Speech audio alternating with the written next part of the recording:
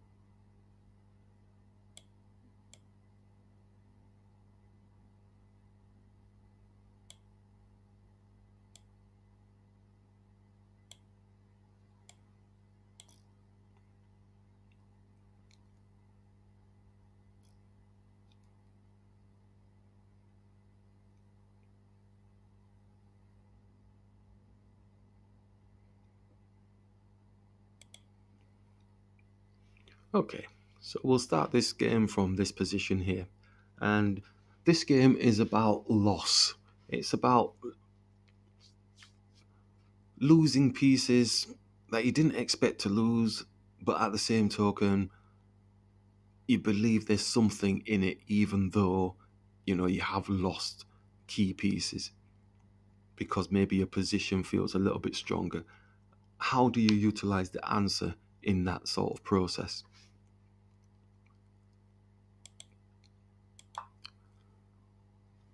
So in this game here, we've moved the queen across and we're basically trying to establish a, a nice attacking position somewhere in terms of either getting the rooks across here at some stage, maybe putting pressure onto this pawn, trying to um, make some space, maybe towards here, at some stage once this pawn maybe gets delivered a, a bad bad deal um, you know maybe attacking along here that type of stuff. So we're sort of stealthily trying to get a good position. The knight comes down he's got like a two on one. Well it's got it's got a fork on the queen and the bishop. So we move the queen out of the way. And then he's got an x-ray through onto our queen. So we move the queen again. At this point was a little bit concerned because my queen was not in a very good position. And how did I get there? Mm, bit too fancy with the queen. So now he's pressing on with a smaller piece, attacking the queen. So we can't take really because he's got this x-ray through. And we're trying to protect our bishop. But all the while, really, we could have just moved our queen here and just brought it down. So we've brought it into a, a place where it's not safe. So the knight then attacks the queen again. Queen doesn't really have much space to go, and then the bishop attacks, attacking the knight. The knight's supported. Move the queen out of the way, but we then they take, and then we take the queen, and then capture. Position doesn't feel too good for us even during the game. Another gauge bar showing that um, black is winning, but it doesn't feel too good for us. It feels a little bit out of kilter. We've not really answered the opponent's questions in the correct way, especially with the movement of our queen dancing all over the place. Single piece maneuvers wasn't supported, and that definitely shouldn't have happened. But how do we shake ourselves out of that sort of situation using the answer process? Every chess player goes through those situations where you go, How did I end up like this? This is unreal. This is surreal. What, why? You know, and the snowball effects kicks in and it just gets worse and worse and worse.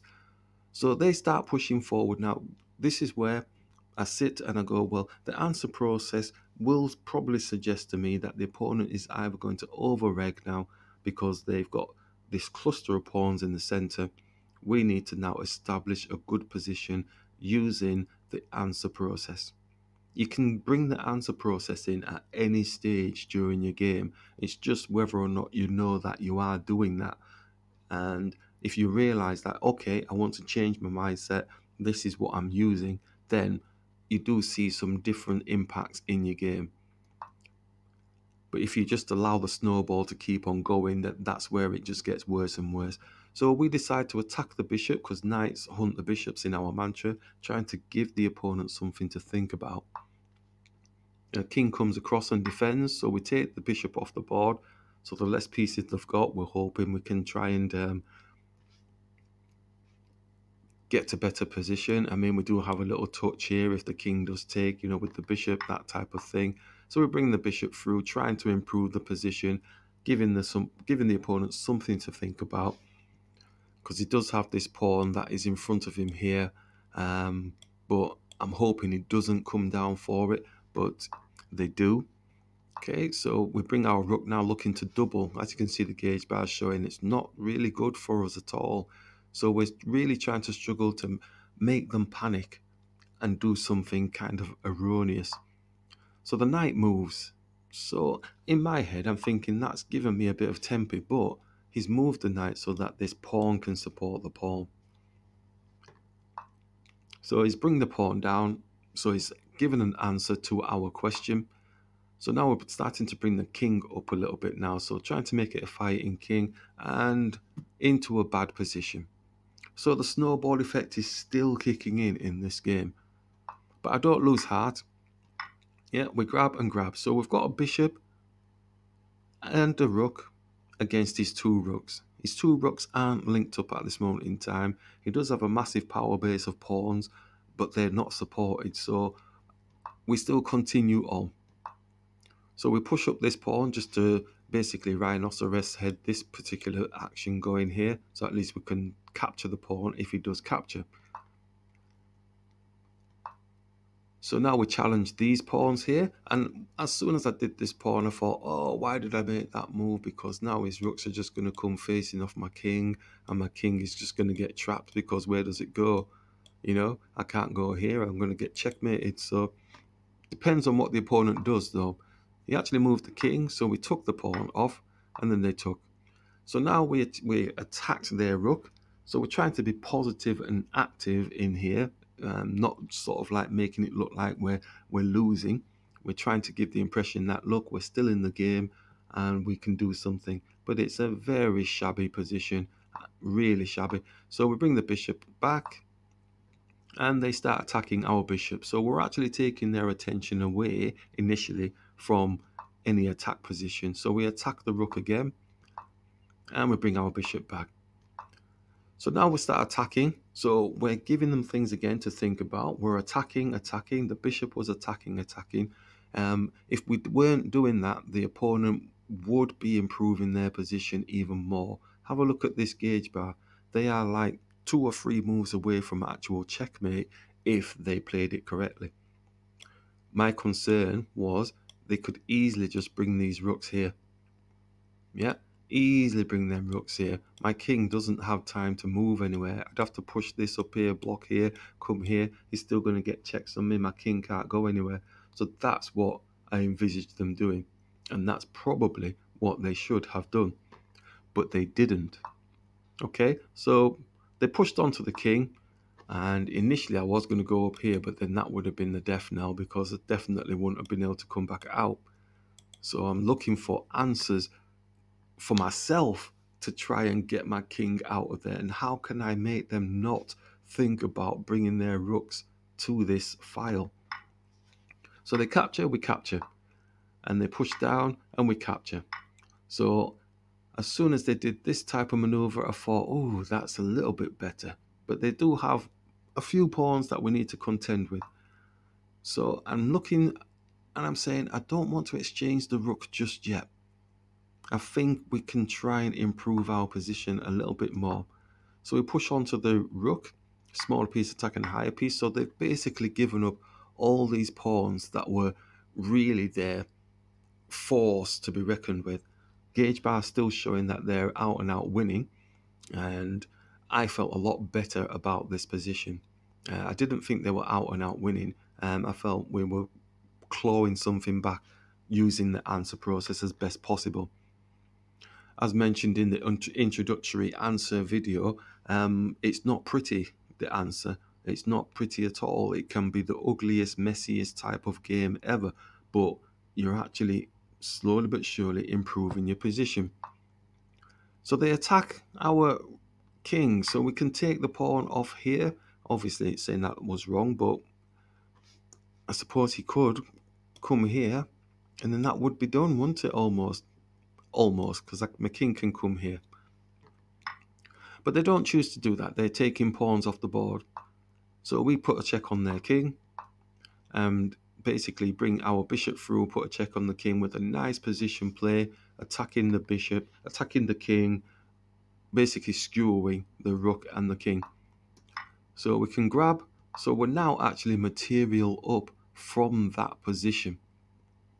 It's almost like it's you know those statements where it says well you know don't give up you know keep on fighting away.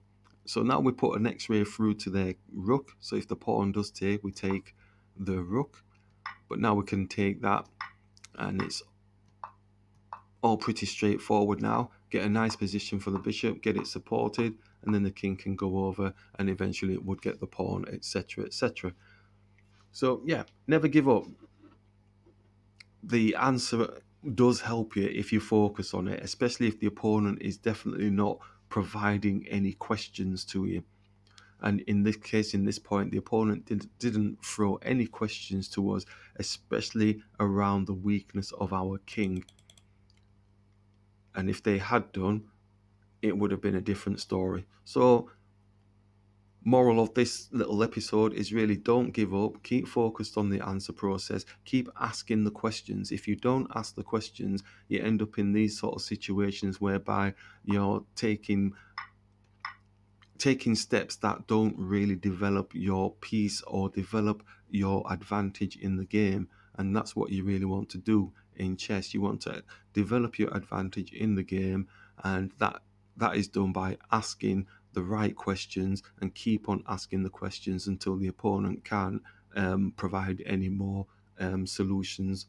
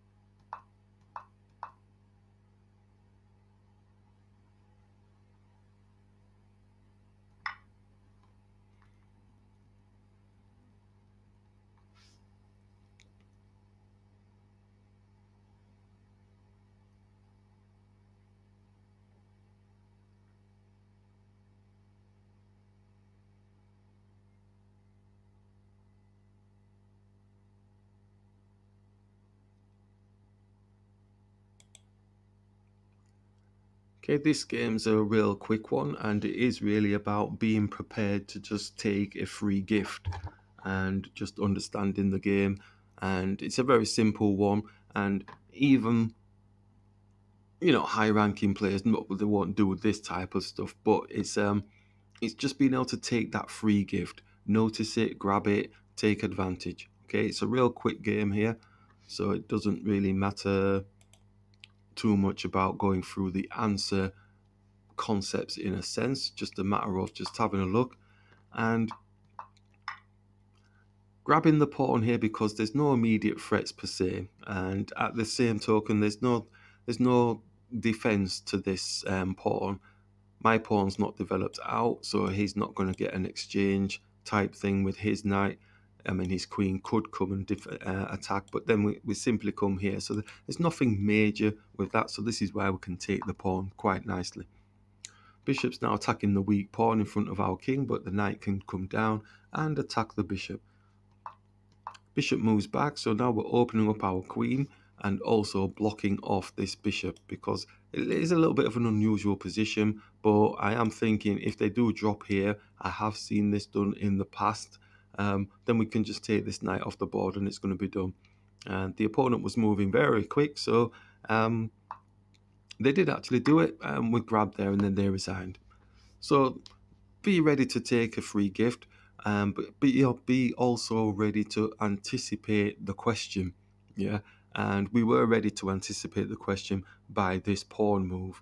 Yeah, of all the moves that we did, we did this move because I've seen it before where I don't know why on earth they feel that this move does something, you know, bringing the knight here because this pawn is protected. This bishop is not going to be able to take and, you know, do a double dose or anything. It's not like the fried liver attack because this pawn is up. So it's not actually attacking this pawn. But like I said, I have seen it done before. So just be mindful.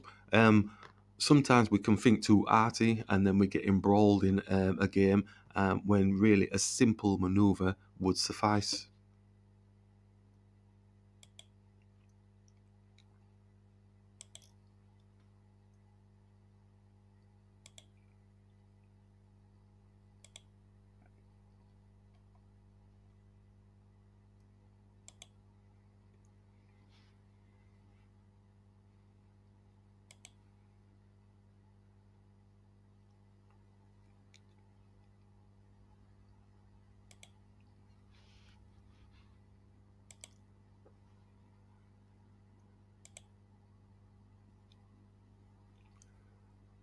Okay, so this is the final game in the Answer to Chess webinar.